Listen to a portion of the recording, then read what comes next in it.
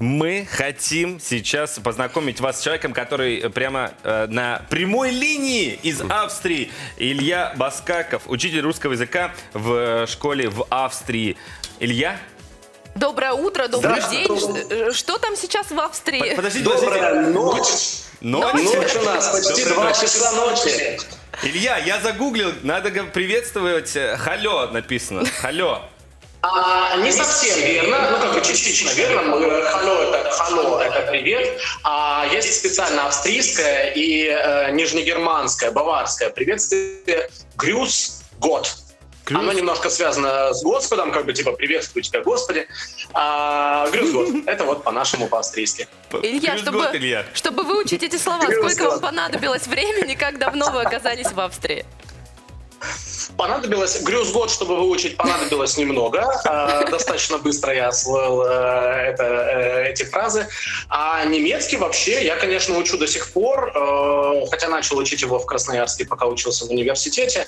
Ну вот, продолжаю. Язык никогда не, невозможно освоить полностью, наверное. Ну, тем более, немецкий не является самым э, простым языком, хотя он не такой сложный и уж точно никакой не лающий, не некрасивый, э, он очень мягкий, мелодичный. Видно, Ну, что если, конечно, ты не отвечает человек, песни который- группы «Рамштайн». Это первый учитель немецкого языка для всех русских.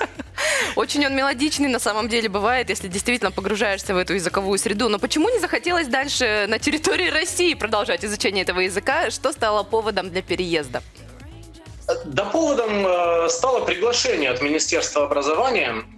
Есть такая программа очень классная э, между австрийским министерством образования и российским. Э, Австрия приглашает ассистентов преподавателя языковых предметов, именно носителей, чтобы носители работали в школе, учили ребят э, русскому, ну, не только русскому, здесь э, есть все преподаватели разных предметов, э, разных иностранных языков. Ну вот и э, так отчасти случайно э, получилось, что Австрия пригласила меня.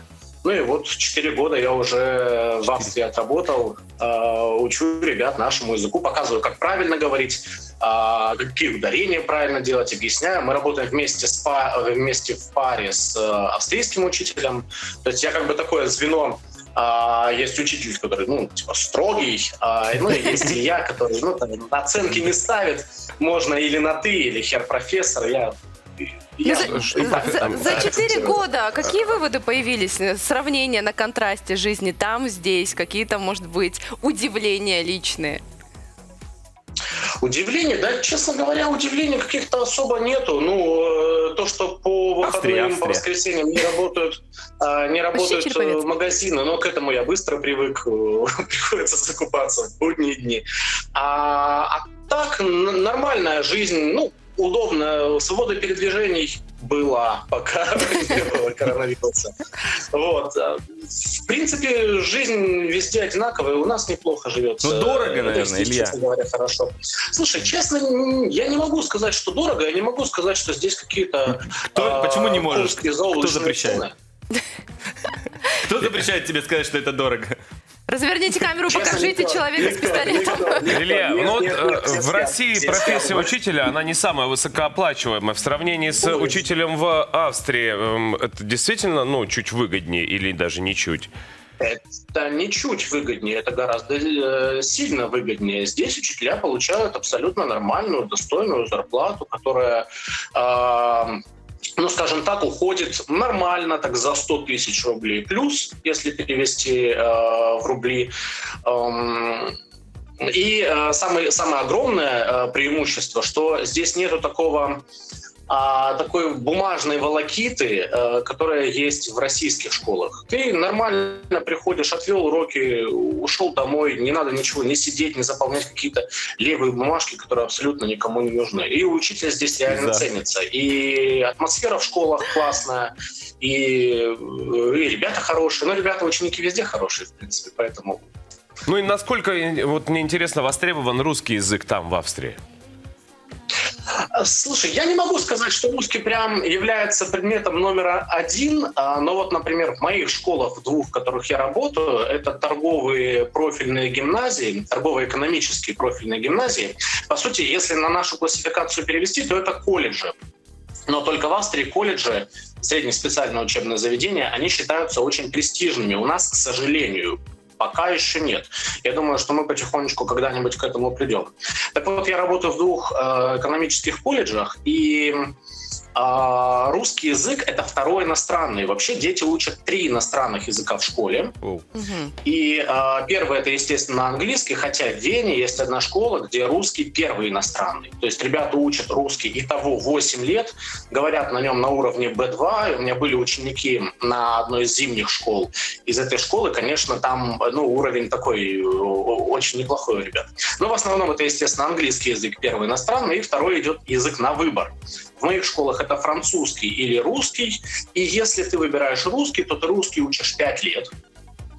И ты не можешь его бросить. И если у тебя, например, по-русскому будет кол, то тебя просто отчислят из школы, и, И всё. все, даже если у тебя все хорошие оценки были до этого по другим предметам. Какой коварный. Э, Я, русского, и я, хочу к нашим красноярским учителям э, обратиться. Вот смотрите, на Илью это прекрасный пример того, что э, просто узнать о возможностях и ими воспользоваться вовремя. а? Сейчас все у нас как мигрируют туда, учителя. Там уже занято. Там занято, там и я. Причем, Илья, в, в Красноярске-то ты заканчивал не педагогический.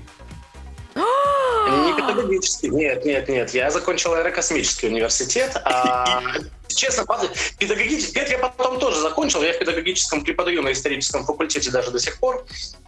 А, и я закончил потом, получил педагогическое образование как учитель истории общественного сознания. Ну да, а, я закончил аэрокос, и э, прелесть была, прелесть этой программы в том, что там нету требования э, иметь педагогическое образование. Все могут важно поехать. было пройти.